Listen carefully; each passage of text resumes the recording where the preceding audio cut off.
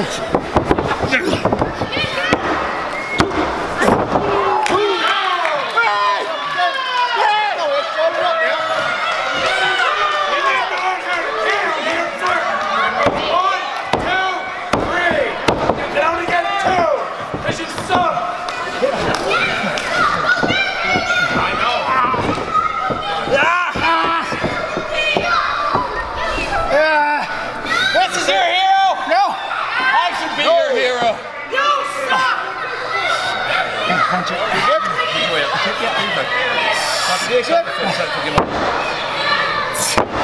what do you say?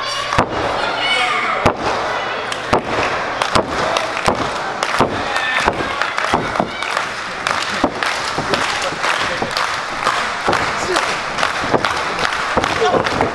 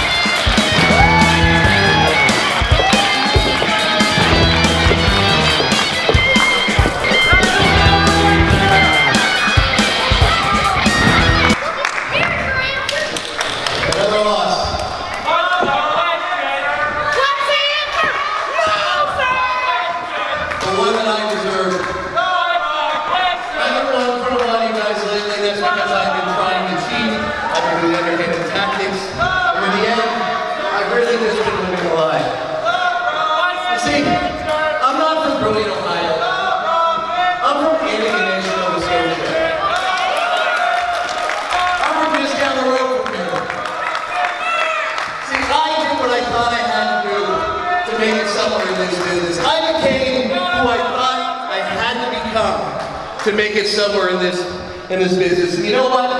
One day I looked in the mirror, I took a long and hard look, and I asked myself, who are you? And I didn't like the answer. So I'm here to apologize to each and every one of you for every name I called you, for every underhanded tactic I did in this ring. And I want you to know that I'm going to be a better person. I'm going to be a better performer. And I don't need to be all this, because I'm here to entertain each and every one of you every time East Coast Pro Wrestling is in the building. Maybe it's time for something different. Maybe it's time for